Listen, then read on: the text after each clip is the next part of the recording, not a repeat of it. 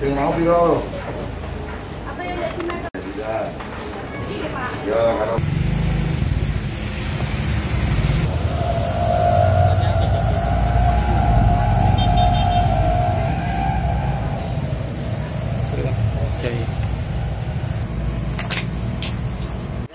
kurang lebih kronologisnya kejadian sekitar jam 6 pagi untuk karyawan masuk seperti biasa. Kemudian karena saksi satu masuk tidak ada masalah kemudian bersih-bersih. Melihat kok ada apa itu eh, tembok yang bolong ya, yang sudah di ini. Kemudian lapor ke saksi dua eh, eh, saksi satu dan saksi dua lapor ke saksi tiga bahwa ada ini dan melihat apa brankas sudah terada terbuka dan keadaan uang sudah tidak ada Kerugian sekitar berapa dan? kerugian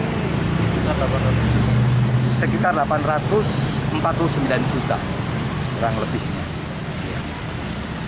Oke. Eh, untuk ini dan eh, kasus ini ditangani oleh berapa ini dan berapa? Ini sementara tadi sudah kita konfirmasi ke Inawis Polres, Resmob Tabes, Jatan Ras Polda juga sudah ke sini semua untuk melakukan lidik bersama-sama untuk bisa mengungkap untuk pelakunya.